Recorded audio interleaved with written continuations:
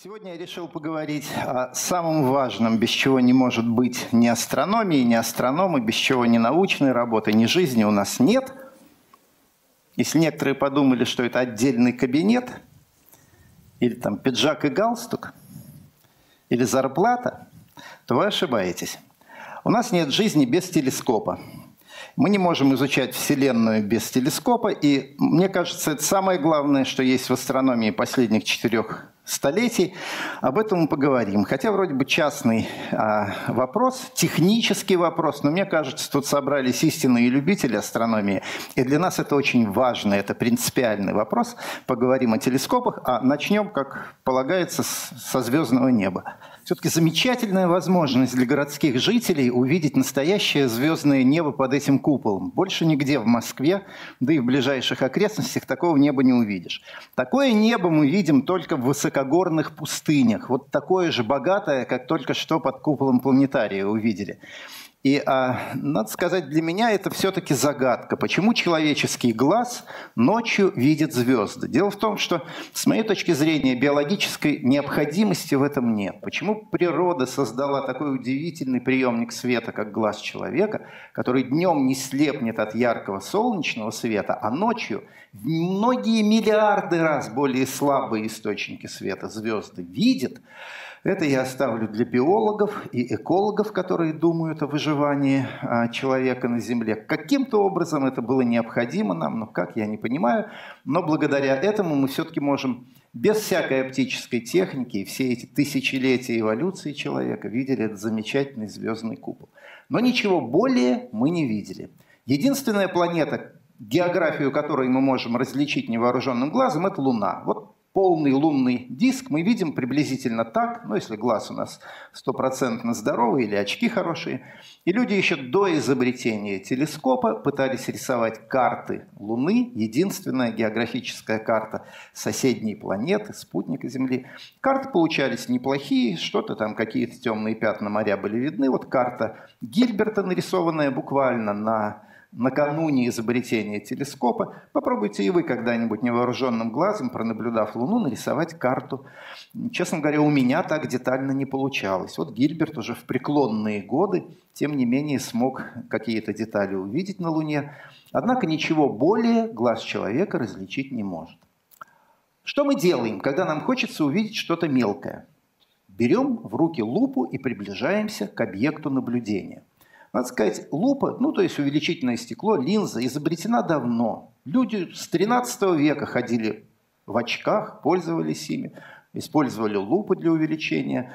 И, казалось бы, еще один шаг до изобретения телескопа. Но, оказывается, не так-то легко было сделать этот шаг. Мы же не можем, взяв лупу в руки, приблизиться к небесному объекту. В чем смысл увеличительного стекла? Он помогает нашему хрусталику нашего глаза сфокусировать близко расположенный объект. Обычно мы держим книгу на расстоянии 20-30 сантиметров от глаз, а так можем на 1 сантиметр приблизиться. Но это хорошо, когда объект наблюдения в руках у вас или перед вами. А как приблизиться к космическому объекту с помощью увеличительного стекла? Разумеется, никак. Где же выход? Этот выход люди искали несколько столетий, и он оказался очень простым – Нужно использовать не одно увеличительное стекло, а два. Одно стекло создает изображение космического объекта рядом с вами, а второе помогает вам приблизиться к нему. Вот и вся хитрость. Так был изобретен телескоп. Ну, поначалу это была просто подзорная труба для морских разбойников и капитанов дальнего плавания. В начале 17 а, века ее изобрели. Ну, а потом и астрономы Галилей I стали пользоваться э, телескопом. Итак, одна линза создает изображение объекта, а вторая, окуляр, помогает глазу к нему приблизиться. Две линзы в сочетании дают принцип работы телескопа. Галилей э, не изобретал телескоп, но он улучшил его, усилил его возможности. Взяв идею голландских а, очковых мастеров, которые создали первые зрительные трубы с очень маленьким увеличением, двух-трехкратным. Морякам этого было достаточно. Галилей довел увеличение собственноручно изготовленных труб до 20-30-кратного, и вот это вот десятикратное улучшение качества открыло перед ним Вселенную. Телескоп рос, рос, рос. Все астрономы понимают, чем крупнее линза объектива, тем больше света можно собрать, тем более слабые, далекие объекты можно увидеть. Наконец, э, в конце XIX века телескоп такой вот системы, как Галилей, и потом Кеплер помогал ему, изобрел, а он достиг своих максимальных размеров. Посмотрите, один из крупнейших в мире телескопов, вот астроном сидит. Чувствуете, какой размер трубы? И максимального веса объектива. Линза диаметром в метр весит почти тонну. И более тяжелая стеклянная линза уже начинает под собственным весом деформироваться и теряет свои идеальные свойства. Поэтому с конца XIX и по нынешние годы, с конца XIX века, телескоп-рефрактор, то есть использующий линзу в качестве объектива, до сих пор не вырос. Вот остановилась его история именно тогда, сто с лишним лет назад. Но, к счастью, уже в конце XVII века Исаак Ньютон предложил принципиально иную конструкцию телескопа. А он придумал вместо линзы использовать вогнутое зеркало. Если оно имеет форму параболоида, то и оно фокусирует свет точно так же, как линза, только не проходящий сквозь него, а отраженный.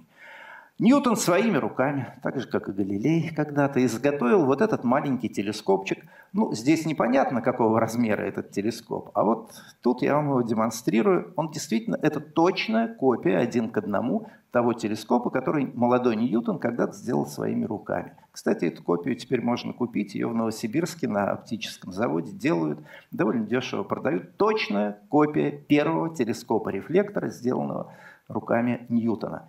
Тогда молодого Ньютона за это открытие приняли в Академию наук, в Королевское общество, и началась его звездная карьера как ученого.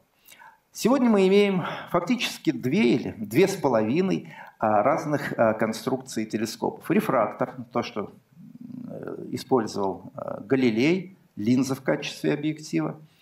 Рефлектор, то, что изобрел Ньютон, вогнутое зеркало в качестве объектива. Ну и здесь глаз расположен у окуляра и некая объединенная конструкция, где и зеркало, и линза перед ним совместно позволяют создать наиболее четкое широкоугольное изображение. Это уже изобретение середины 20 века, зеркально-линзовый телескоп. Он объединяет а, достоинства двух предыдущих и компенсирует недостатки и линзы, и зеркала. Но такая конструкция наиболее дорогая, ее используют сегодня уже и любители, и профессионалы, так что все три варианта сегодня доступны и людям, интересующимся астрономией, и занимающимся профессионально. Теперь поговорим о приемниках света. Недостаточно создать изображение, надо его зафиксировать. Вот перед нами уже знакомый вам кусочек зимнего небосвода, созвездия Орион. На этом изображении все звезды доступны нашему невооруженному глазу. Человек больше здесь никогда ничего не увидит. Это предел для человеческих глаз. Но в природе есть а, животные, которые лучше нас приспособлены к ночным наблюдениям. Ночные хищники, например, сова. Это же изображение глазами совы, вероятно, выглядит вот так. Ну, фотографию делала не сова, это я с помощью фотошопа, зная возможности совиных глаз, вот так демонстрирую вам. Конечно, можно позавидовать сове, если она вообще смотрит на небосвод. Мне кажется, она больше на Землю смотрит в поисках мышей. Но это предел для биологического а, приемника света. Наверное, ни одно создание больше на этом участке не увидит. Но у нас есть технические средства. Мы берем телескоп среднего калибра, наводим его вот в эту область созвездия Орион и получаем вот такую фотографию. Тут мы видим а, межзвездное, горячий газ, межзвездное вещество, которое ни один глаз даже самого ночного хищника изощренного никогда не увидит. Перед нами маленький кусочек созвездия, сфотографированный рядовым телескопом. Но это еще не предел для нашей техники. Берем самый крупный телескоп нынешних лет, например, 8-метровый или 10-метровый телескоп-рефлектор, наводим его вот на этот, ну, казалось бы, почти беззвездный участок неба, и вот перед нами такая картина. Это возможности поистине современного крупного телескопа. И мы видим, что чем больше диаметр объектива, тем больше света он способен собрать, и более слабо светящиеся или далеко расположенные от нас звезды может увидеть. Рост возможностей телескопов на Земле ограничен двумя обстоятельствами.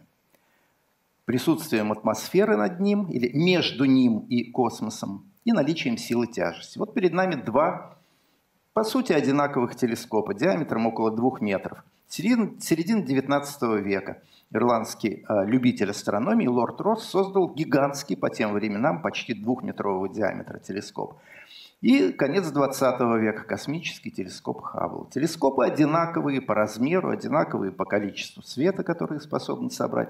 Но посмотрите, какую гигантскую неуклюжую конструкцию приходится возводить на Земле вокруг телескопа, чтобы обеспечить ему поддержку и возможность направлять его на разные участки неба. А космический телескоп летает сам по себе в невесомости, не требуя никаких подпорок. Вторая неприятность – это, конечно, атмосфера. Воздух, сквозь который из космоса приходит свет, он сильно ухудшает изображение, а этот смотрит сквозь вакуум, туда, куда хочет, и не испытывает таких трудностей. Собственно, в борьбе с этими двумя неприятностями, с гравитацией и атмосферой, растут и эволюционируют современные телескопы. Давайте по порядку обсудим некоторые их качества. Например, где работает телескоп, как он вообще устроен. Вот классическая фотография а, крупнейшего, кстати говоря, в мире телескопа-рефрактора, как мы привыкли видеть это на картинках, в учебниках, в популярных книжках. Длинная труба, объектив здесь, окуляр и наблюдатель внизу, а, большой купол, накрывающий его. Такая конструкция сложилась в середине XIX века. Главное здесь Конечно, оптика внутри этой трубы, но немаловажно еще и как укреплен телескоп, и способен ли он медленно и плавно а, вести наблюдение за каким-то участком неба, сопровождать движущиеся по небосводу звезды. Земля вращается, звезды движутся, и телескоп должен компенсировать это движение. Раньше а, такая механика была не нужна, но во второй половине XIX века была изобретена фотография – Тогда еще химическая фотография, от которой мы уже начинаем отвыкать, но важно было для получения снимка неба осуществлять длительную экспозицию, десятки минут, а иногда и часы. Телескоп должен точно а, сопровождать движение звезд. Поэтому появилась необходимость в сложном механическом устройстве, в часовом механизме. Ну, это телескоп середины XIX века, внутри него фотопластинка, а все это вся эта механика позволяет телескопу медленно сопровождать движение звезд, делая вокруг часовой, как говорят, оси, направленной на северный полюс мира, делая один оборот в сутки и компенсируя таким образом вращение Земли. Вот тогда, во второй половине XIX века, и сложился современный телескоп, основные его части.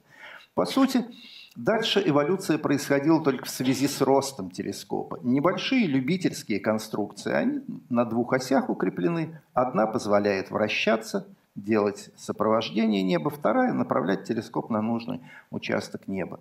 Но для крупных инструментов уже приходится изобретать более прочные конструкции, вот такого типа, где телескоп находится в окружении нескольких мощных балок, поддерживающих его, не позволяющих изгибаться ему, осуществляющих медленное движение, это уже нелегковесные конструкции. Например, середина 20 века. Американские астрономы создали царь-телескоп по тем временам с диаметром зеркала 5 метров. Во-первых, обратите внимание, труба перестала быть трубой. Это уже ферменная конструкция. Труба слишком тяжелой была бы. Пришлось облегчать ее с помощью, убирая лишние части, оставляя только ребра жесткости.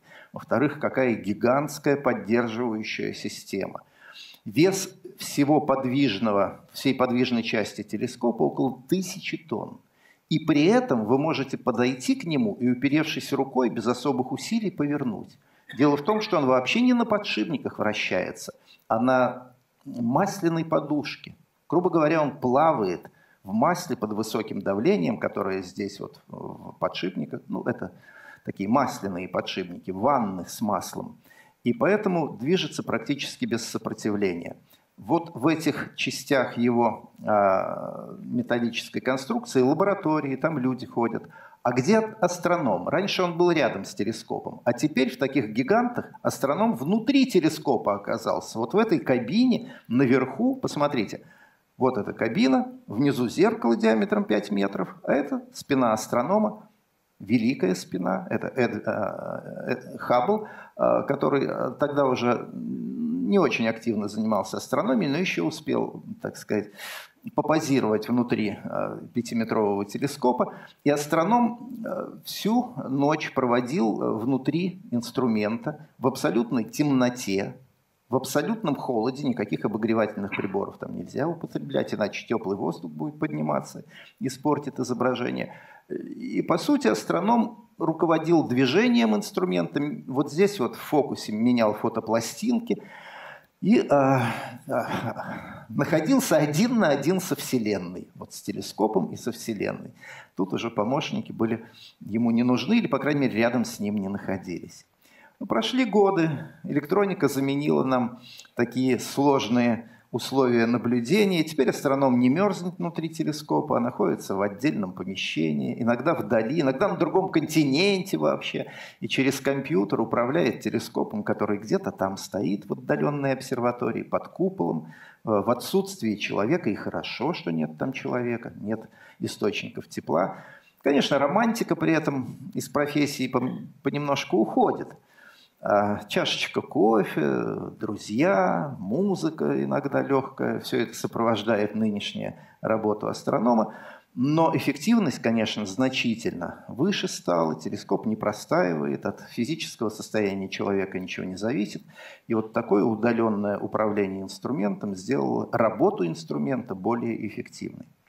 Поговорим о главной части современного телескопа, его объективе – зеркало – вот перед нами заготовка или почти готовое зеркало всего лишь трехметрового диаметра. Посмотрите, какая толщина этого стеклянного диска. Если бы он был сплошным, это была бы многотонная конструкция. Чтобы как-то облегчить его, с тыльной его части вынимают э, довольно много стекла, оставляют только ребра жесткости между ними, ну как принцип пчелиных сот. Зеркало облегчается, а при этом жесткость не теряется, и оно не изгибается при поворотах телескопа.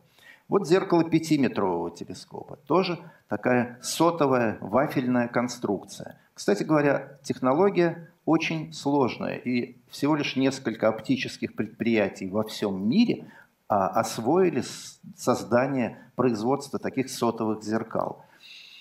А, поэтому все равно зеркало весит многие тонны.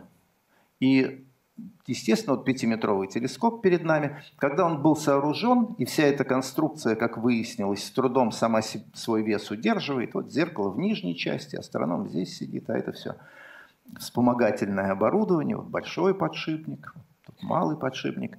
А я читал работы американских инженеров, сооружавших этот инструмент, и у них было единодушное мнение. Это конец эволюции телескопа-рефлектора. Более крупных никто никогда создать не может. Как кончилась эволюция рефракторов при диаметре в 1 метр, так закончилась и эволюция рефлекторов, достигших диаметра в 5 метров и веса в 1000 тонн. Но оказалось, что это не так. 20 лет спустя, в середине 70-х, в СССР был создан телескоп с диаметром зеркала 6 метров. На 1 метр больше, чем у американцев. Вес зеркала оказался в три раза больше, чем у американцев. Мы так и не освоили сотовую технологию. Тем не менее, телескоп оказался изящным, легким, и его удалось сделать. Он до сих пор очень эффективно работает у нас на Кавказе. В чем же дело? Изменилась механика. Вместо того, чтобы вращать его вокруг наклонной оси, параллельной оси вращения Земли, осуществляется вращение вокруг вертикальной и вокруг горизонтальной, двух осей одновременно. Такая конструкция требовала а, участия компьютера в управлении телескопом. И тогда, в середине 70-х, это уже было возможно, и наш отечественный стал крупнейшим в мире. И оставался им примерно 20 лет, ну, пока техника не шагнула дальше. Но эта конструкция до сих пор является прототипом всех современных телескопов. Вот самый-самый-самый из современных это а телескоп с диаметром зеркала 8 метров. Тем не менее, та же самая азимутальная установка, вращение вокруг двух осей. Я думаю, что в будущем эта конструкция сохранится, потому что она оказалась единственно возможной для телескопов-гигантов. Так что в этом смысле мы были первопроходцами. Сегодня, например, такой телескоп сооружает мой родной астрономический институт имени Штернберга Московского университета. Тоже, как видите, аналогичная конструкция. А, он будет примерно через полгода готов, тоже на Северном Кавказе, вот в этом месте, недалеко от Эльбруса. Ну, это не гигант, на, что денег хватило, то мы и делаем, двух с половиной метровый, но он будет вторым э, в России по размеру после шестиметрового телескопа и, безусловно, самым современным. А любопытно, что изменился подход к жесткости конструкции. Вот когда делали 5-6-метровый телескоп, инженеры полагали, что его конструкция должна быть супер жесткой. Любой поворот инструмента не должен приводить ни к каким его деформациям, чтобы относительное положение главного зеркала, вторичного зеркала, фокуса и других оптических деталей ни на йоту не смещалось друг относительно друга. Но ясно, что жесткость требует массы большой, толщины металла и так далее. Можно ли обойти это требование? Оказалось, что можно. Современные инструменты а, совсем на других принципах а, проектируются. Вот пятиметровый середины 20 века, вы чувствуете, это груда металла. А вот телескоп современный с диаметром зеркала 10 метров – а при этом посмотрите, какая паутинная конструкция его трубы. Это и трубой-то нельзя назвать, вообще прозрачная совершенно. Там и новые материалы, а главное новый принцип. Телескоп может быть не жестким. При его поворотах он может деформироваться. Единственное требование, чтобы не нарушалось относительное положение его оптических элементов. Оказывается, этого можно достичь если вести проектирование с помощью суперкомпьютеров, учитывая все а, требования сопромата, и таким образом телескоп как бы полумягким оказывается, но соответствующим всем оптическим требованиям. Вообще сейчас техника шагнула далеко. Например, недавно а, студенты Калифорнийского технологического института принципиально новую конструкцию монтировки предложили. Вообще никаких поворотных частей. Зеркало телескопа, приемник света и шесть гидроцилиндров, на которых все это укреплено. Компьютер управляет выдвижением этих цилиндров, и телескоп может повернуться в любое место на небе, с любой скоростью сопровождать, в любом направлении, все под э, управлением компьютера и вот этих выдвигающихся, называется гексапод, ну, 6 э, гидроцилиндров. Пока эта конструкция пробная, зеркало небольшое, полуметровое, но в принципе это хороший путь для создания крупных и легких инструментов в будущем. Так что студентам есть над чем подумать. Теперь поговорим о доме, где живет телескоп. Мы этот дом традиционно называем башней. Иногда говорят обсерватория. Нет, обсерватория – это учреждение, где работают астрономы. А вот дом, в котором находится телескоп – это башня. Башня одного из крупнейших рефракторов – Медонской обсерватории под Парижем – Середина XIX века. Смотрите, какие архитектурные излишества на нем. То есть хотелось, чтобы это еще и красиво было. Ну, разумеется, современные конструкторы астрономических башен уже отошли от этого требования красоты. Все подчинено рациональным требованиям. Вот башня современного телескопа, кстати, пятиметровый американский. Ничего лишнего. Любой выступающий элемент за пределы вот этого гладкого купола – это э, причина для турбулентности воздуха. Дует ветер, спотыкается какие-то выступающие элементы, начинаются завихрения, и перед э, объективом телескопа уже неоднородный воздух. Максимум э, обтекаемости. Верхняя часть, это купол, она поворотная, может на 108, ну, на 360, на самом деле, градусов вращаться. И в момент наблюдения открывается вот это окно, мы его называем щель, а, в данном случае она открывается путем раздвижения вот этих двух створок. Это не абсолютно эффективная а, конструкция, потому что когда створки раздвинуты, ветер начинает на их краях а, создавать турбулентные потоки, и перед телескопом уже не совсем однородный воздух. Наш шестиметровый телескоп на Кавказе в этом смысле лучше сделан. Его башня вообще не имеет э, выступающих элементов. Щель открывается путем перекидывания вот этого забрала на обратную сторону башни. Ну, как шлем у э, древних рыцарей. Просто открывается забрало, и оно по-прежнему остается прижатым к башне, и никаких выступающих элементов не появляется. Это, вообще это идеальная башня. Кстати говоря, купол тоже сложное а, инженерное сооружение. Весит оно тоже тысячу тонн, потому что это многослойное а, сооружение между внутренней и внешней поверхностями купола. Там вообще люди ходят, там помещения, лестницы. Работают охлаждающие системы под куполом здесь внутри помещения воздух имеет совсем не ту температуру, что днем на, э, наружу, потому что внутри должна быть температура воздуха, которая ночью предстоит телескопу. Если вы откроете э, забрало и ночью будет перепад температур между воздухом атмосферным и под куполом, то сразу тепловые потоки нарушат вам работу телескопа. Там создаются специальные климат-контроли, создаются условия, прогнозируемые на будущую ночь. Сегодня телескопы настолько большой диаметр имеют объектива, что иногда щель просто ну, размером в половину башни оказывается. В данном случае часть купола сдвигается в сторону, тоже хорошая конструкция, ничего не, не торчит наружу, сдвигается и открывает э, отверстие как раз размером в зеркало телескопа, в его объектив. Ну, не всегда башни такие вот классические, полукруглые. Иногда они похожи на бочку. Это не оптимальная конструкция, но часто это продиктовано финансовыми соображениями. Но вообще башня, вот в данном случае вы видите а, четырехтелескопный комплекс а, Европейской Южной обсерватории. О нем, о нем мы еще поговорим.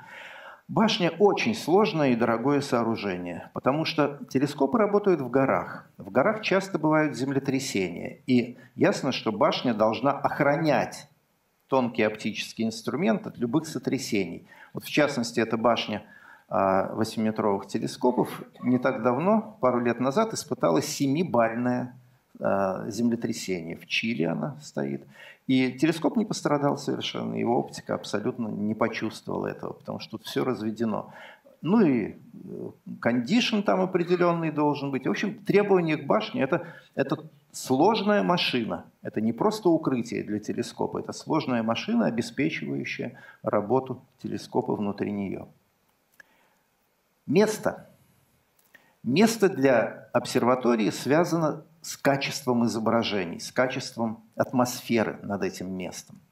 Ну, а, давайте посмотрим, в чем проблема. Берем бинокль, хороший бинокль, морской, смотрим на Луну. Идеальное качество. Картинка лучше некуда, резкость великолепная.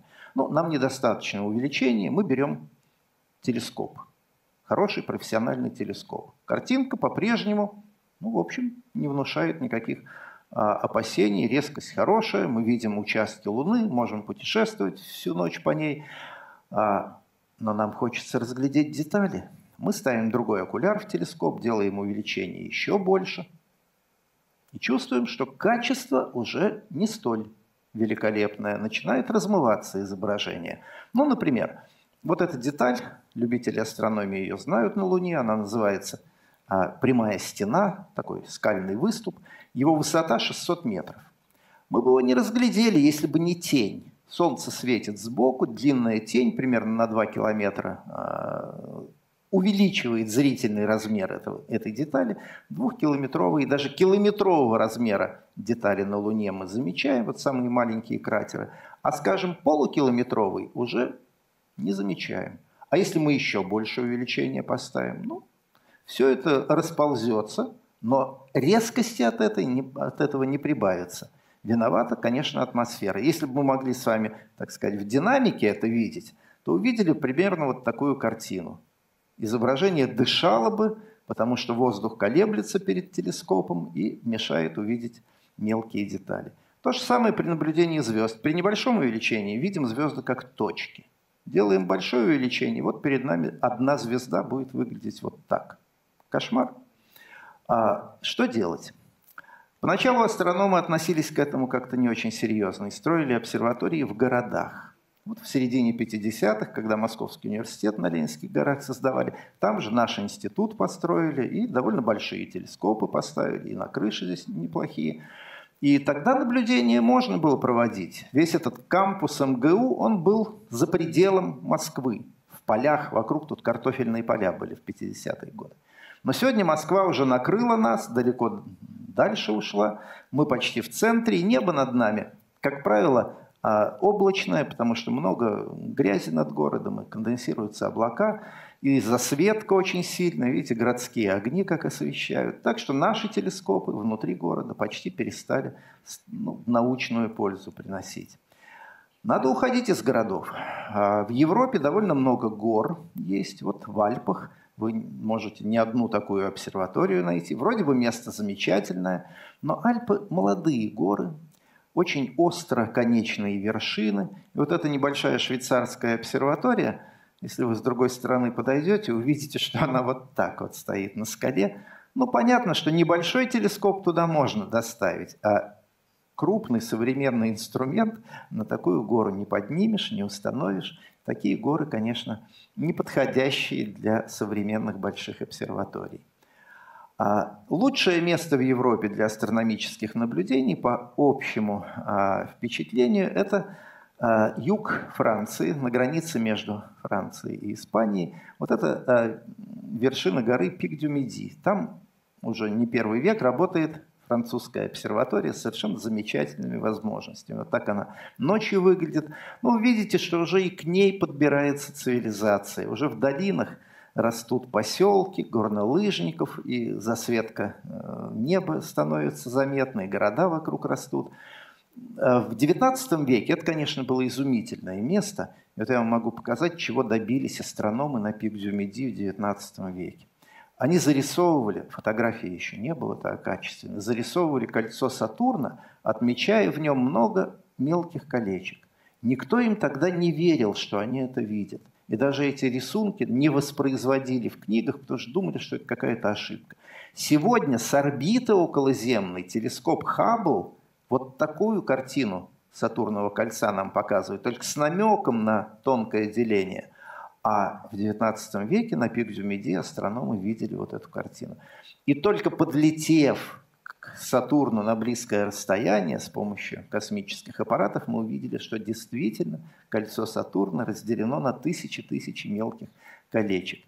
Но сегодня уже там на пик Дюмеди не такие э, чудные изображения. А в других горах еще хуже. Вот наши Кавказские горы, башня нашего шестиметрового телескопа. К сожалению, Кавказ не очень подходит для астрономических наблюдений. Это влажное место, там часто туманы. Вот видите, я в тумане фотографировал это дело. Ветер довольно сильный. И хотя наш шестиметровый телескоп сам по себе хорош, но в этих условиях он не очень эффективно работает. А где же для астрономов места поистине а, благожелательные? А вот такие сухие, а, не очень крутые горные вершины.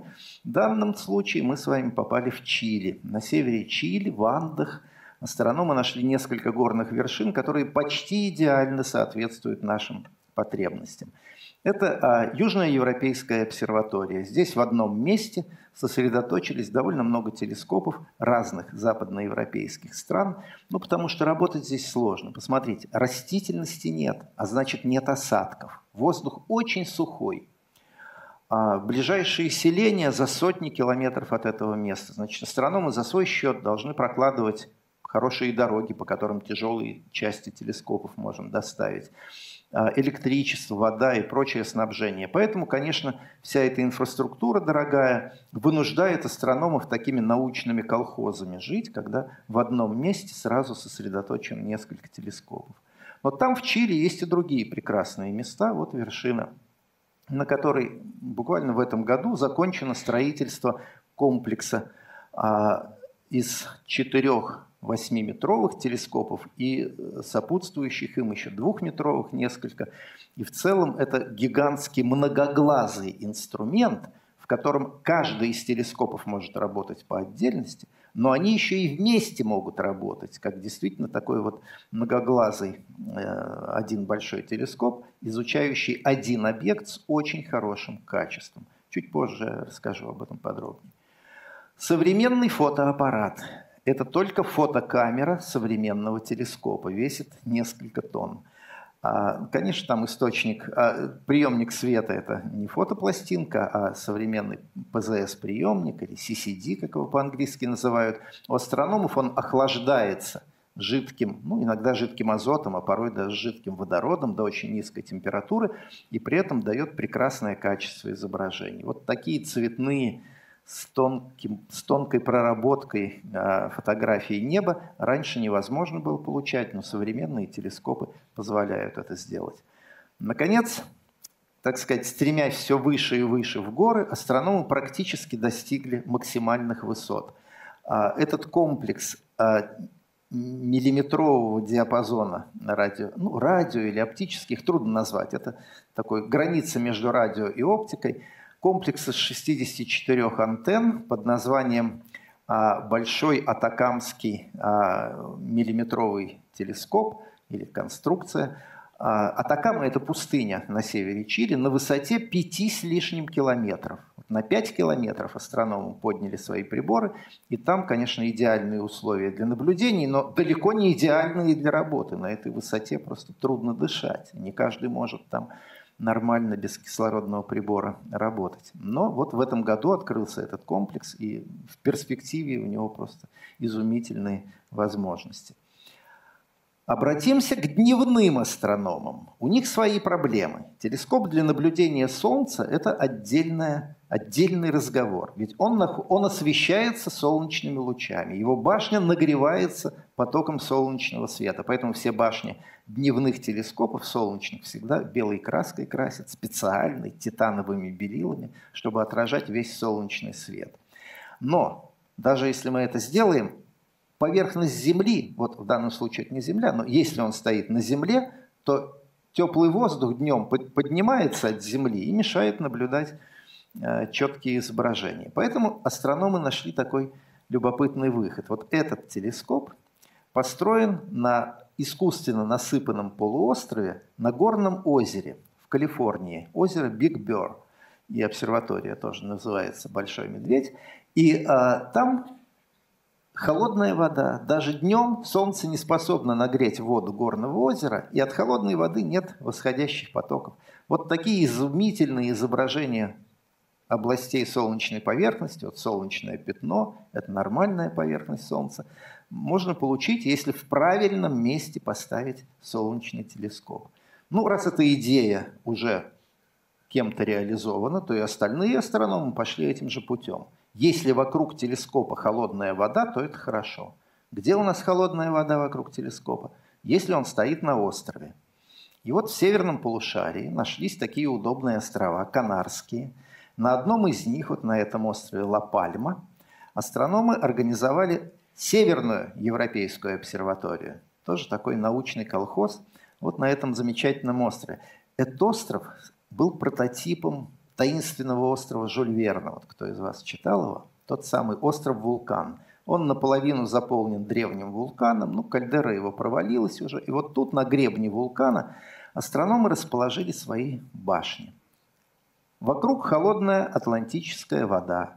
Даже днем облака не поднимаются выше обсерватории. Она на высоте примерно двух километров находится. Поэтому можно днем над вами голубой чистый купол, а ночью облака еще ниже опускаются. И условия для наблюдения очень хорошие. Тут и ночные телескопы, тут и вот эти вот башенные солнечные телескопы стоят. И сегодня, кстати, на этой площадке крупнейший в мире телескоп сооружен. Чуть позже я вам его покажу. А лучший в мире остров оказался в середине Тихого океана. Это остров Гавайи. Хорош он тем, что старый гавайский вулкан Мауна-Кеа имеет высоту более 4 километров. И вот на этой вершине а, как раз находятся самые крутые, самые дорогие и крупные телескопы в мире, 10-метровые, 8-метровые и так далее, принадлежащие в основном богатым странам. Соединенные Штаты, Япония, европейские телескопы. Это, по сути, вот сегодня считается лучшим в мире местом для наблюдения Вселенной. А, а еще выше, можно еще выше. Если телескоп поставить на самолет, например. Вот такая летающая обсерватория имени Койпера 20 лет работала на американскую науку, и вот здесь, в открывающемся небольшом окошечке, а, на небо смотрел сравнительно небольшой телескоп диаметром 90 сантиметров, но оказалось, что очень полезный. Потому что, летая в стратосфере, такой самолет оказывается над слоями воздуха, богатыми парами воды. Над ним уже сухая стратосфера. И она не поглощает инфракрасные лучи, идущие из космоса. Так что наблюдать в инфракрасных лучах можно только поднявшись высоко над Землей. Этот самолет отслужил свое, и на смену ему пришел новый. Несколько лет назад американцы стали модернизировать вот такую летающую, создавать ее. То есть модернизировать старый Боинг, укоротили его, назвали София, но к Болгарии это не имеет никакого отношения, стратосферик обзоветри для инфракрасной астрономии. И вот тут в его кормовой части, теперь он уже покрашен, и вот с прошлого года он такой вид приобрел, находится огромный телескоп. Открывается окно, и там двух с половиной метрового диаметра инфракрасный телескоп смотрит на небо. Телескоп немцы сделали, германского производства, самолет американский, так что это совместное такое предприятие. И очень эффективно начало работать, уже пошли научные результаты с него. А еще выше можно забраться с телескопом? Можно. Если поднять его на воздушном шаре. Шар поднимается на высоту от 25 до иногда 40 километров. По сути, там уже почти космос над вашей головой. Конечно, люди при этом остаются на Земле, телескоп подвешен на веревочке, управляется по радио. А самым удобным местом для запуска таких стратосферных обсерваторий оказалась Антарктида. По трем соображениям. Первое – в Антарктиде холодно, а значит воздух выморожен, все пары воды упали на Землю в виде снега, он абсолютно сухой и прозрачный для инфракрасного излучения. Второе – длинные ночи. Длинные полярные ночи позволяют долго наблюдать, большие экспозиции делать. Но самое интересное – ветер, который постоянно дует вокруг Южного полюса. Если поднять такой аэростат с побережья Антарктиды, то вот этот циркумполярный ветер – воздушный поток обнесет его в течение ну, примерно 10 дней вокруг Южного полюса и принесет почти к месту старта. После этого по команде с Земли обрывается нить, и на парашюте опускается дорогая научная аппаратура почти к месту своего старта. Ну, баллон, конечно, гибнет, но он большой, кстати, не дешевый, 100-120 метров диаметром. Огромный баллон, ну, сравнительно недорогой по отношению к научной аппаратуре. Каждый раз приходится новый. А, кстати, баллон летит, летит, летит, освободившись от телескопа. И некоторые думают, что это летающая тарелка. А, а еще выше, ну выше только космос. В космосе телескопы работают без помех, но стоят очень дорого. Вот самый лучший космический телескоп, ему уже скоро 25 лет, Хаббл. А, то, что он нам показал, конечно, ни один другой не мог. Это новая эпоха в астрономии благодаря ему совершилась. То, что мы раньше видели в виде размытых клякс каких-то, сегодня видим четко, с большим количеством деталей и часто не понимаем их происхождение. Вот перед нами эпизод смерти звезды. Когда-то через много, через несколько а, миллиардов лет это же нашему Солнцу предстоит вот звезда, и она сбрасывает с себя верхние слои. Такие объекты называются планетарными туманностями – мы понимаем их физическое происхождение, но не понимаем столь удивительную, красивую форму. Когда-нибудь поймем. Главная звезда, для которой создаются космические телескопы, это Солнце. За ним постоянный мониторинг ведется. Вот э, самая известная солнечная обсерватория СОХа. Тут телескопы оптического, ультрафиолетового, рентгеновского диапазона. Все, что не видно с Земли, видно из космоса. И вот такие портреты Солнца, конечно, никогда с Земли не получишь. Детально, многокрасочно, ну, цвета искусственные, естественно, мы видим э, горячие, активные области на Солнце, протуберанцы, взрывы, и можем прогнозировать поведение Солнца на несколько дней вперед, особенно важное для космонавтики. Поэтому мониторинг Солнца сегодня важная задача космической астрономии. Совершенно невозможно наблюдать в инфра, далеком инфракрасном диапазоне космос – а, с помощью наземных и даже стратосферных телескопов. Только летающий в пустоте космический телескоп может показать нам тепловое излучение Вселенной. И такие телескопы тоже летают. Они весьма дороги, потому что, по сути, вот это вот огромный термос, заправленный жидким водородом, а иногда и жидким гелием при температуре ну, почти абсолютного нуля. И пока этот, эта жидкость не испарится, телескоп, охлажденный телескоп, видит тепловое излучение далеких объектов. Как только, ну, как правило, через год-полтора эта жидкость испаряется, телескоп становится незрячим, и уже на смену ему надо запускать новый, что и делается в последние годы регулярно.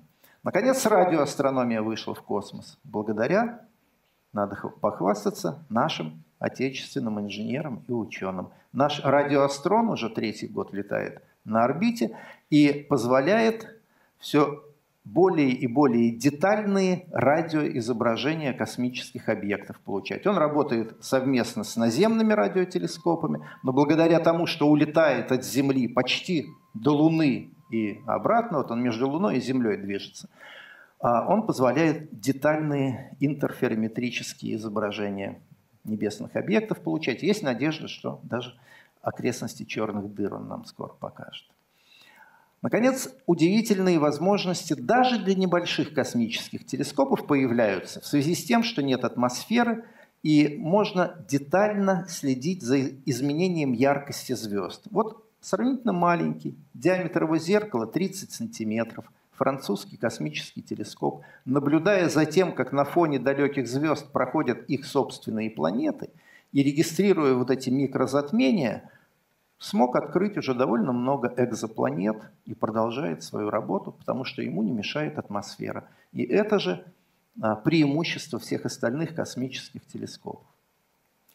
Но ведь хочется же и на Земле иметь хорошие изображения. Не у каждого астрономического учреждения есть деньги на запуск своего инструмента в космос.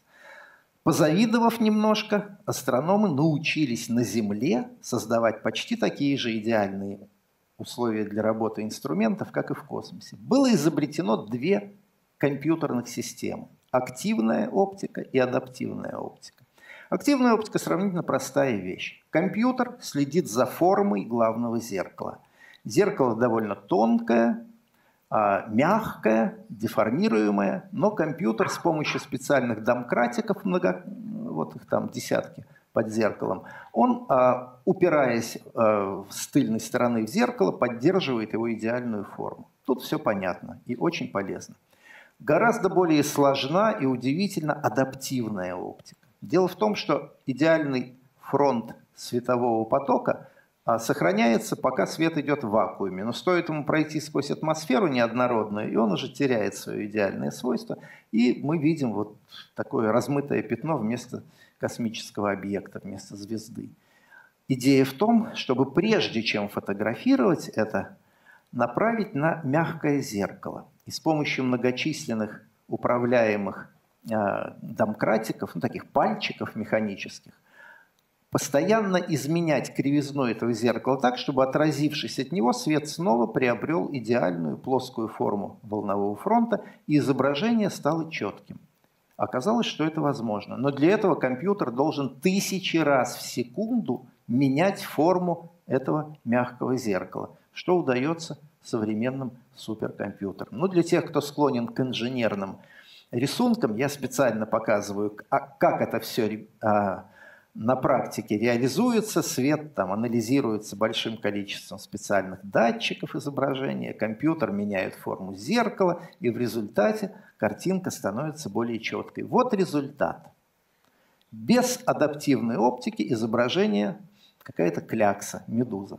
Включаем адаптивную оптику, это реальные фотографии на японском телескопе Субару. Картинка становится четкой, мы видим, оказывается, тут две звезды было.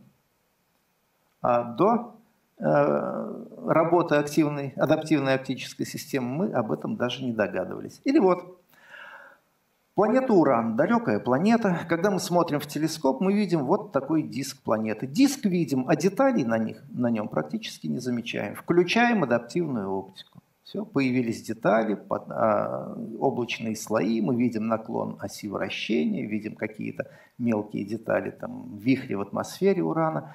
Сравним космический снимок Урана с помощью телескопа Хаббл сделанный и наземный снимок Урана, полученный одним из крупнейших телескопов в мире, телескопом Кек 10-метровым, с применением адаптивной оптики. Мне кажется, этот лучше. А он получен с Земли, преодолевая все неприятности, созданные атмосферой. Так что можно сказать, что современные крупные телескопы работают так, как будто бы они находятся в космическом пространстве. Но это дорогая система. Она по карманам только тем организациям, кто смог создать большой дорогой телескоп, ну и купить суперкомпьютер. А одной из деталей адаптивной оптики является искусственная звезда. Вот попав рядом с современной крупной обсерваторией, вы иногда увидите луч лазера, бьющий из-под купола. Зачем? А дело в том, что компьютеру надо объяснить, как наводиться на резкость, как сделать изображение более четким. То есть создать эталонный а, источник, эталонное изображение. Вот луч лазера, бьющий в стратосферу, примерно на высоте 90 километров над башней – создает маленькое пятнышко, так называемую а, искусственную звезду, по которой компьютер и наводит резкость, меняет форму мягкого зеркала и улучшает изображение.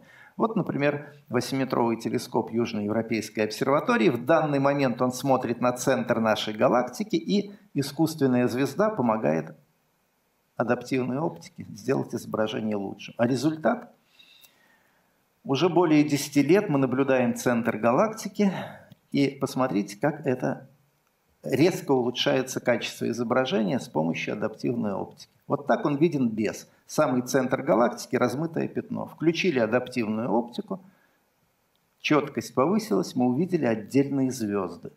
Ну ладно, увидели, и что? Мы фотографируем их день за днем, ночь точнее за ночью, год за годом, и в результате следим за перемещением звезд в самом центре галактики. И вот как они перемещаются. Оказывается, они движутся вокруг пустого места. Вот этой звездочкой пятиконечной обозначено то место, вокруг которого летают звезды. Но там ничего нет. По крайней мере, ничего не видно. Но что-то же их притягивает, вокруг чего-то они летают. А по общему мнению астрономов, там находится сверхмассивная черная дыра. В 4 миллиона раз более массивная, чем наше Солнце – она-то как раз и заставляет звезды летать вокруг нее по орбитам. И это удалось увидеть только благодаря адаптивной оптике. Еще одна проблема, пока не решенная астрономами, ну или частично решенная, это яркие звезды. Вот перед нами фотография неба и одна из ярких звезд, ну это Вега. Она своим светом так заливает пространство вокруг себя, что слабенькие звезды, а может там и галактики, а может что-то интересное, мы не можем рассмотреть. Как вот заслонить яркую звезду, чтобы она не мешала нам наблюдать. Частично эта проблема решена, ну частично, методами математическими. Вот перед нами фотография, изображение звезды на исходном снимке вот такую область занимало, и ничего больше не было видно. Математика позволила компенсировать свет звезды, прижать его. Вот грязь еще осталась, но она уже не мешает увидеть нам три планеты рядом с этой звездой. Это один из первых прямых снимков экзопланет. Три больших планеты, там еще четвертая скрывается в этой грязи, ее недавно обнаружили. Таким образом, частично мы победили ослепляющее действие ярких звезд – но, вероятно, еще какие-то найдутся более мощные методы, которые позволят разглядеть и вот что тут творится. Когда-нибудь мы это сделаем. Я уже говорил о 8-метровых телескопах Южноевропейской обсерватории. Покажу, как они действуют совместно. Четыре гиганта и еще несколько сравнительно небольших двухметровых инструментов через специальные световоды, собранный ими свет, посылают в общую лабораторию, и там общая единое изображение получается. Как будто бы у нас один большой телескоп работает размером вот с расстоянием между наиболее удаленными башнями. Да, он не полностью заполнен зеркальной поверхностью, только кусочками. Но благодаря большому расстоянию между башнями четкость изображения получается очень высокая. Вот так сегодня выглядит комплекс 8-метровых телескопов они, этот комплекс называется а, Very Large телескоп, очень большой телескоп. На самом деле целая куча очень больших телескопов и не очень больших телескопов, и все это вместе работает очень эффективно. Гигантские телескопы наших дней, их около 20, а наш шестиметровый теперь не самый крупнейший в мире, а один из этой двадцатки. Есть и покрупнее, но это естественно. Самая большая проблема – сделать объектив. Сегодня три технологии используются. Создание больших зеркал. Толстое сотовое зеркало, то есть абсолютно жесткая вафельная конструкция. Тонкое сплошное зеркало, оно тонкое, но можно поддерживать его форму искусственно. И, наконец, сборное, сегментированное – когда на специальную а, опору накладывается большое количество элементарных зеркал, маленьких зеркал, и из них собирается мозаика в одно крупное зеркало. Вот все три типа сегодня, все три технологии используются. Интересно, как отливают сегодня зеркала. Расплавили стеклянную массу, но это не совсем оконное стекло, это некая такая керамическая стеклянная масса, заливают ее в форму будущего зеркала – если дать ей остыть, это будет просто ну, плоский диск. А потом надо ему придать форму параболоида, то есть много-много вынуть стекла из центральной части. Делают не так.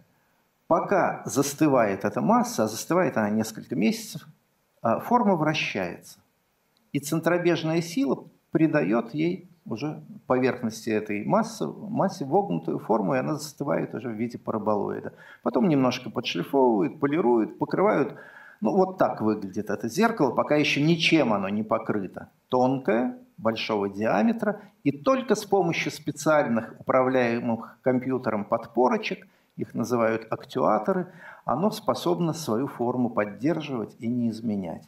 Потом в вакуумной камере напыляют слой алюминия и поверхность становится зеркальной. Зеркало создано, но оно все еще находится в каком-то крупном промышленном центре, а его надо доставить на дикую горную вершину. Приходится тратить деньги на строительство дороги, очень качественной, на сотни километров от обжилых мест. И вот такой транспорт – довольно тяжелый и неповоротливый, целая экспедиция отправляется, в данном случае 8-метровое зеркало здесь находится. Не всегда это, то есть всегда это непросто, а иногда дополнительные сложности возникают. Но, например, недавно в э, Аризоне на территории э, заповедника э, астрономы получили разрешение на строительство крупного телескопа, но им было сказано – ни одного дерева не затронуть, даже чтобы веточка не шелохнулась.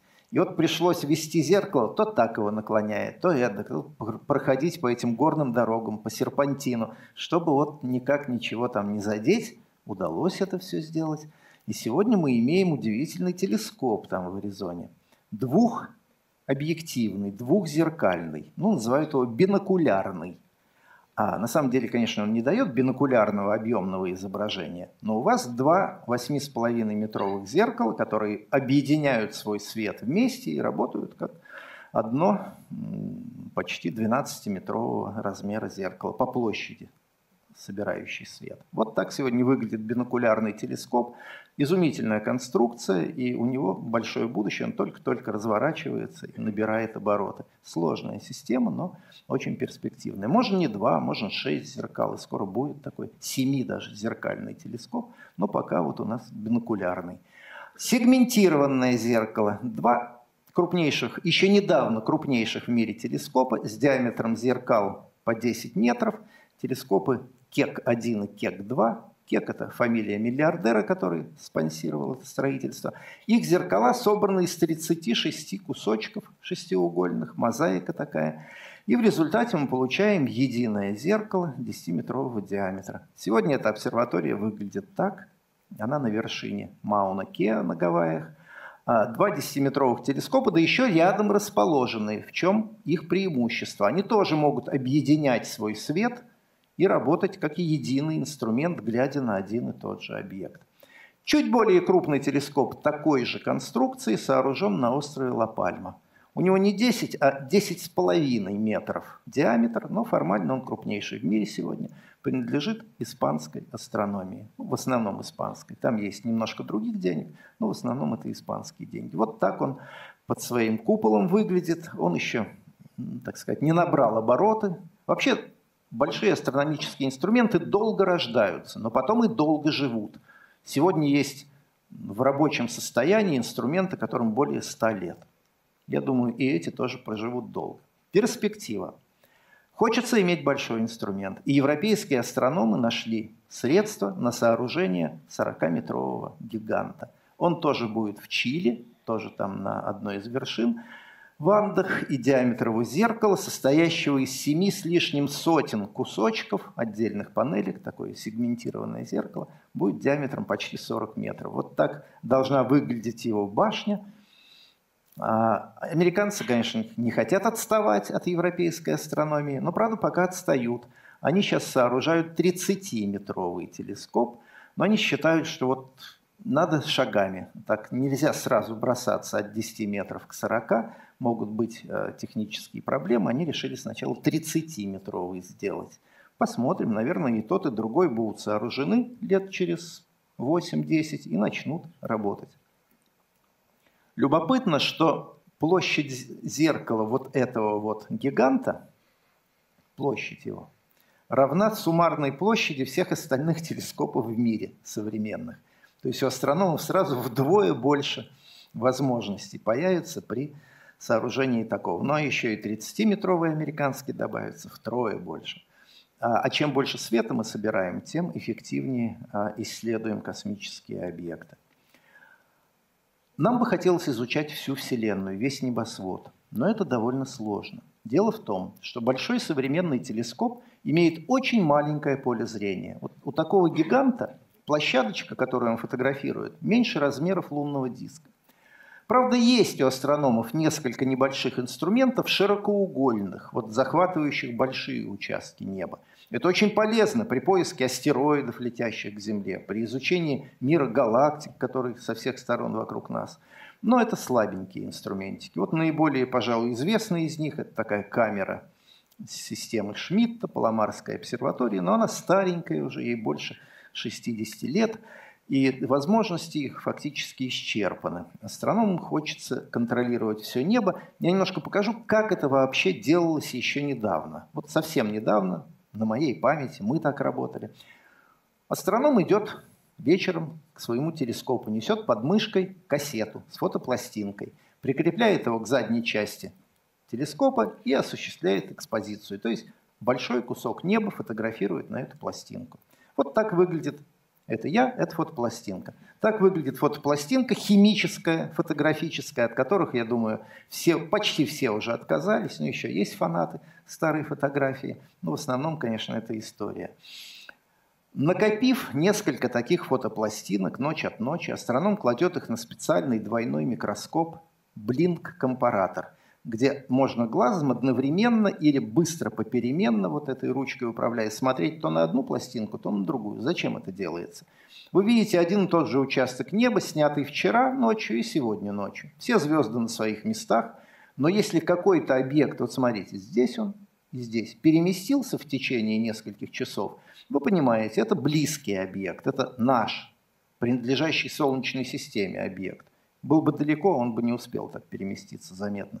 Ну и смотрите, либо это известный астероид, либо известная планета, либо что-то новенькое. Так открывали всегда планеты.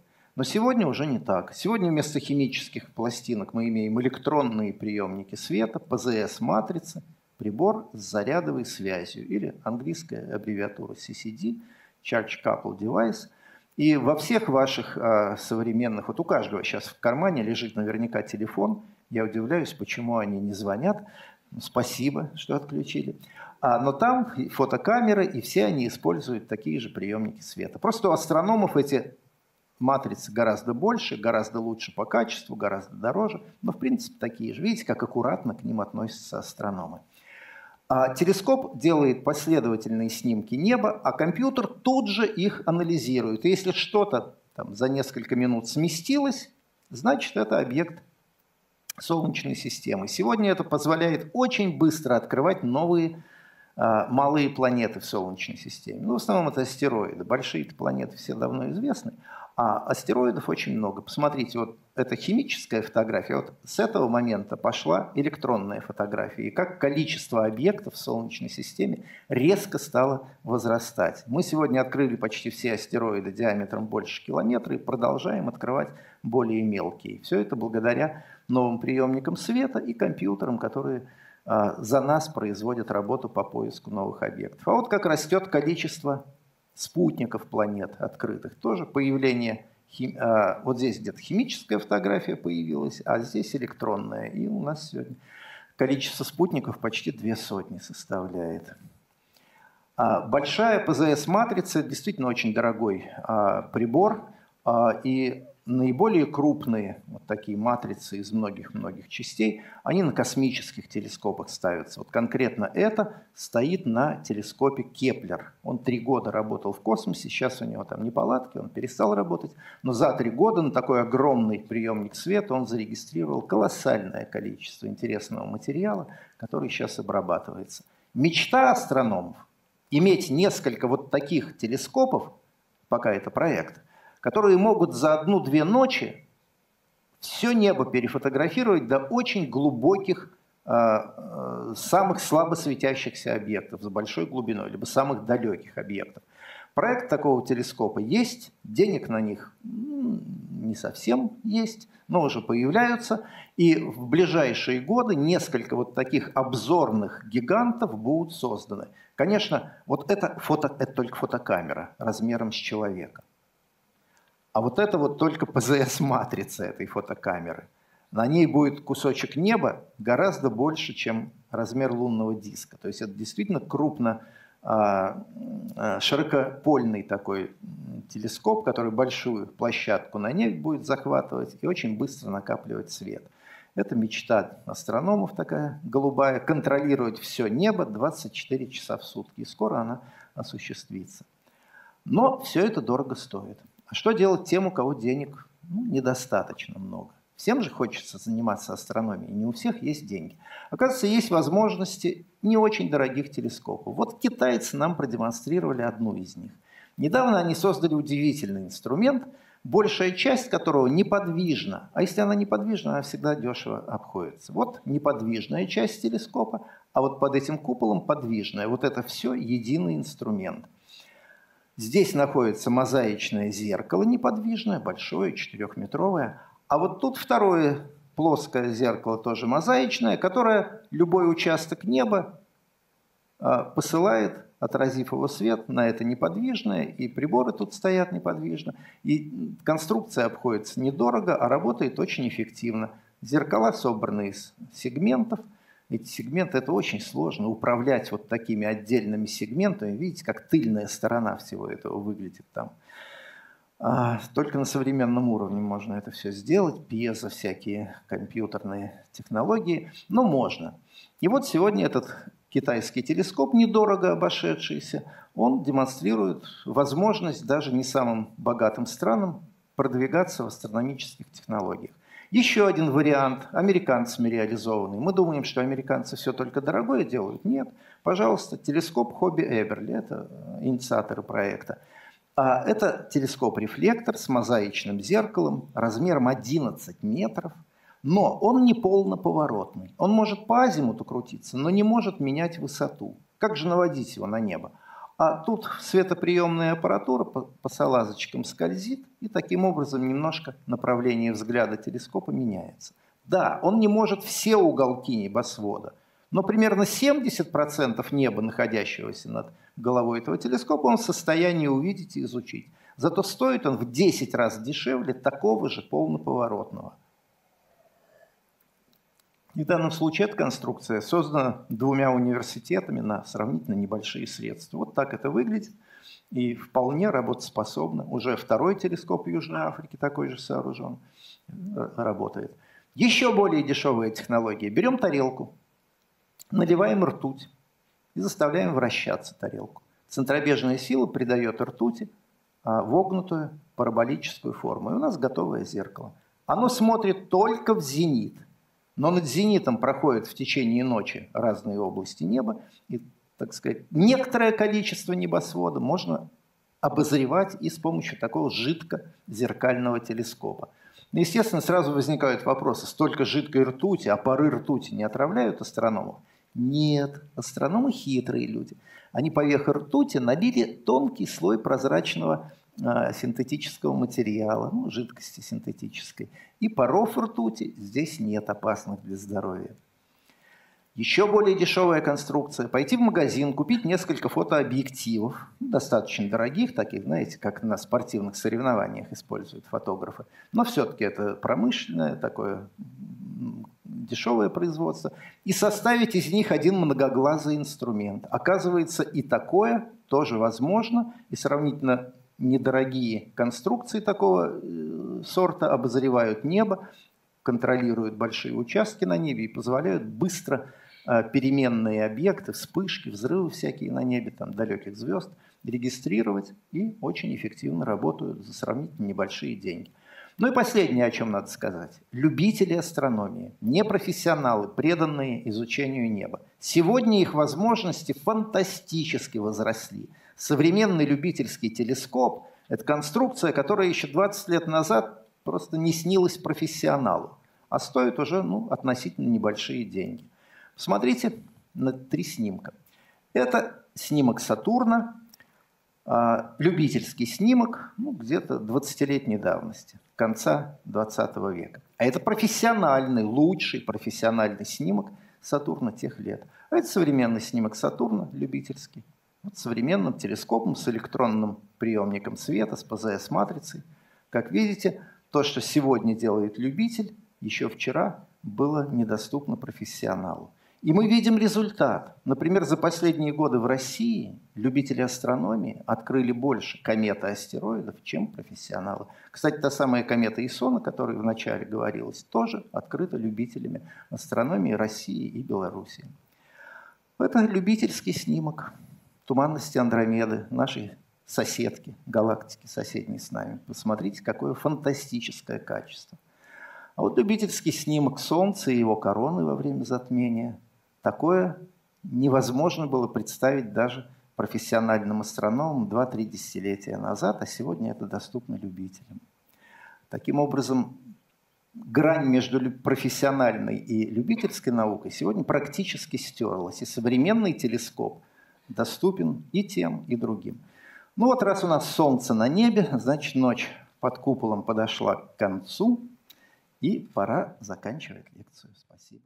Вы уже показали, что может современная адаптивная оптика, и начинает казаться, что его возможности просто какие-то такие безграничные. Э, действительно ли это так? Или все-таки нам придется запускать телескопы Нет, в космос, потому что... Конечно, не так. Адаптивная оптика ограничена тем, что атмосфера неоднородна и в разных частях неоднородна по-разному. Когда мы исправляем изображение на маленьком клочке небосвода – на соседних участках его надо по-другому исправлять. Вот сегодня уже рождаются а, системы адаптивной оптики с многими искусственными звездами. То есть на каждый клочочек неба кладется своя искусственная звезда, и каждый клочочек своим компьютером значит, управляется по-своему. В общем, космический телескоп по-прежнему нужен, хотя бы потому, что он сразу большой участок неба может в высоком качестве сфотографировать наземный пока этого не может. Используются ли в современных телескопах динамические голографии, ну, вот в адаптивной оптике там, и вообще говоря, вот голографические какие-то способы? Я не, не знаю. Не знаю. Хорошо. есть, и... на, насколько я знаю, не используют. Хорошо, спасибо. И второй вопрос, а вот а, насколько сильно нагревается солнечный телескоп во время там работы или мог бы нагреваться, если бы не было охлаждения? Да, и вот эта вот проблема температур в телескопах, там, насколько она сильно собственно, проявлено. То есть больше всего интересно, насколько сильно нагревается телескоп, если его не охлаждать. Ну, слушайте, каждый Спасибо. знает. Вот стоит автомобиль под солнцем, да? Вы попробуйте прикоснуться к крыше автомобиля, который полдня простоял на открытом солнце. Ожог руки получите. То есть, в принципе, может нагреться очень сильно. Благодаря тому, что телескоп и башня белой краской покрашены, конечно, нагревание снижается. Кроме этого, у солнечных телескопов есть принудительная вентиляция. Воздух протягивается через трубу, Но все равно нагретый в трубе воздух по ней поднимается, и внутри возникает а, турбулентная атмосфера, внутри трубы. Поэтому, чтобы этого избежать, последние годы а, солнечные телескопы делают вакуумными. Из трубы вообще откачивают воздух. Объектив, окуляр, ну или там камера и абсолютный вакуум внутри трубы. Это, кстати, в России есть такой телескоп, на берегу Байкала стоит. И вот на Канарах тоже есть такие. Лучшее качество изображений дают вакуумные телескопы. Там практически не нагревается. А были ли случаи, когда вот, э, собственно, выходило из строя оборудование, например, и там плавилось все, и, и вообще говоря, есть такое интересное? Насчет плавилось не знаю, но, например, я сохраняю до сих пор пальто, такое демисезонное, в котором еще в школьные годы наблюдал солнце, и на меня из э, телескопа искателя, каждый знает, что у большого телескопа еще маленький дополнительный, попал солнечный зайчик пальто вот прогорело, там такое прожженное пятно. Так что одежда пострадала на мне. А вот насчет сгоревших инструментов я такого не слышал. Астрономы все-таки предвидят это и стараются какими-то способами. Ну, например, когда мы глазом смотрим на Солнце, мы либо светофильтр ставим перед объективом телескопа, который 99, запятая 999 тысячных света поглощает, либо отражает, а одну десятитысячную пропускает в глаз. Либо специальные там призмы есть, которые тоже уменьшают количество света. Ну, в общем, астрономы знают, что делают. Не допускают того, чтобы расплавилась их аппаратура. А, у меня остался неясный вопрос, каким образом э, возникает искусственная как бы звезда для адаптивной оптики – Потому что луч лазера должен от чего-то отразиться. Да, он не отражается, он возбуждает. А, непонятно, ну, понятно, в общем, по какой причине. Я сейчас скажу. На высоте примерно 90 километров в стратосфере есть слой воздуха, обогащенный атомами натрия. Вероятно, это все-таки в основном метеориты сгоревшие поставляют его туда пылинки космические. И вот а, лазерный луч, он работает как раз на частоте желтой линии натрия, вот дублет натрия. И поэтому он возбуждает в основном свечение именно там. Чем в современных телескопах обеспечивается поддержание вот э, той, по сути, идеальной отражательной способности зеркал? Ведь вы сказали, что они работают там чуть ли не по 150 лет, но пыль, какие-то осадки да, да. и так далее. Давайте первый вопрос. А, зеркало алюминированное. Раньше их серебрили, но вот сейчас как-то более принято слоем алюминия покрывать. Работает а, лет пять вот с этим слоем. Каждые пять лет, ну, приблизительно, слой, слой возобновляют. Снимают зеркало с телескопа, отвозят в вакуумную камеру, обычно на обсерватории она своя собственная камера, и новый слой э, свежего алюминия накладывают. Но в промежутках между этими пятилетними переалюминированиями еще чистят зеркало. Вот как его чистят, любопытно. Вообще говоря, самый современный способ – это а, искусственным снегом – СО2, вот углекислый газ из баллончика, когда вы открываете винтель, он выходит, расширяется и превращается в такой пушистый снег. Вот такой струей углекислого снега можно смахнуть пыль с поверхности зеркала, а то, что остались эти кусочки снега на поверхности зеркала, он тут же испаряется и никому не мешает. Ну вот в этом году мы были в обсерватории, там, где шестиметровый телескоп наш работает, рядом с ним еще один стоит телескоп, метровый, у него тоже зеркало. И я спросил, как чистят. Мне объяснили, это наше ноу-хау. Раз в год туда в трубу запускается девушка худая с тряпкой. Можно и так. А, вопрос, касающийся использования телескопов для поиска экзопланет. А, вы вроде бы на слайдах а, приводили примеры, но которые касаются исследований в оптическом диапазоне, да? А вот тот же телескоп Кеплер, мне вроде бы казалось, он больше работал в инфракрасном? Нет, нет. Космический телескоп Кеплер чисто оптический телескоп, обзорный. У него широкое поле зрения, там 10 на 10 градусов, чистая оптика еще какие-то телескопы используются для вот таких целей? Или это действительно чисто оптика? Вот? Да нет, в общем, ведь а, методы а, поиска экзопланет, они в основном двух типов. Либо вот эти микрозатмения звезд, планетка на фоне звезды проходит, и покрытие звезды осуществляет, то фотометрия точная должна. Звезда меркнет примерно на десятую долю процента, то есть на одну тысячную долю своей яркости. Заметить с поверхности Земли это очень сложно. Звезды мигают, вы видели, как атмосфера портит звезды. Из космоса легче, поэтому космический. Вот Кеплер потому и летал в космосе, и еще я один показывал корот, телескоп. В космосе фотометрия очень точная. Второй способ – это наблюдать звезду и ее перемещение регулярно и лучевую скорость мерить. Тоже в оптическом диапазоне. Оптика практически единственный диапазон, в котором мы экзопланеты можем обнаружить. В остальных, в инфракрасном, ну, нет, сегодня нет. У меня возникла интересная идея. Все началось с того, что начали строить телескопы на Земле. Э, продолжили тем, что начали запускать в космос. А может быть, пере... так вот, какая идея? Перейти к третьему шагу. Строить телескопы на Луне. На Луне нет... На Луне э, я, я слышал то, что там полным-полно полезных ископаемых. Можно прям там на Луне построить из изменяющихся материалов. Да. Хорошая идея, спасибо. И там вообще, и там вообще нет атмосферы, так что ничего не будет мешать. Отлично. Идея хорошая, но не новая. Еще сто лет назад один астроном сказал, что, по его мнению, души умерших астрономов улетают на Луну, ибо это идеальное место для наблюдения неба. Одна из экспедиций начала 70-х годов Аполлонов, знаете, да, астронавты летали на Луну, возила с собой телескоп. То есть лунная астрономия уже началась. На Луне его там оставили. Он стоит, небольшой такой телескоп любительского калибра, ультрафиолетовый. На Луне нет атмосферы, можно наблюдать в ультрафиолетовом диапазоне, и астронавты американские провели наблюдение, неплохо получилось. Есть одно, ну, много есть проблем, конечно. Есть одно «но». Там не совсем нет атмосферы. Там немножечко в дневное время пыль летает лунная, электростатически поднимается над поверхностью, летает. Но в ночное время, похоже, на Луне действительно идеальные условия и надо там телескоп. Но все-таки, мне кажется, проще построить на Земле и отвезти на Луну пока. Когда-нибудь, может быть, и из лунных материалов будем строить. Но все оптическое производство перенести на Луну – это сложновато. К тому же на Луне почти отсутствует гравитация.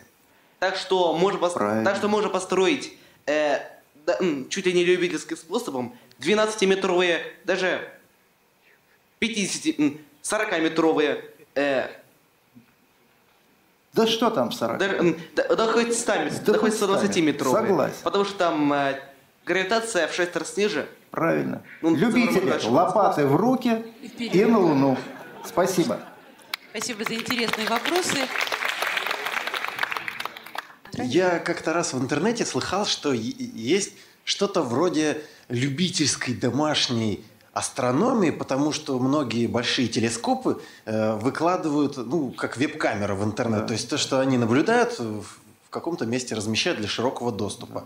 Вот. Э, это действительно так? Это Насколько действительно это хорошо? так, но не, на, не настолько уже для широкого. Обычно научные наблюдения в течение года принадлежат той компании, той лаборатории, которая их провела. Вот если они за год не успели, так сказать, снять сливки, собрать все, что... Тогда они а, обычно вот в силу традиции выкладывают это для общего доступа. Но есть и телескопы, которые тут же, просто вот через секунду после наблюдения. В частности, я вам показывал спутник Корот, э, простите, Соха, который Солнце наблюдает, да? У него один из телескопов – а, является коронографом. Это значит, там в середине поля зрения есть непрозрачная рамка, такая экранчик, которым диск Солнца закрывается, и тогда телескоп может фотографировать вокруг Солнца все.